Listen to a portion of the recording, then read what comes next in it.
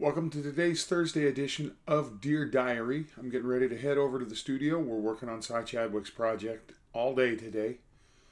So we're going to be busy as all get out. He's got, when it's all said and done, he's going to have five or six songs ready to go that we've produced. So, uh, if you're into country music, this kid, Cy Chadwick, he's as country as can be. So you'll like it. Anyways, if you're seeing this, like, share, follow, do all the things that kids do these days. Get off my lawn. Hope y'all are having a good day. We will see you later. Peace out.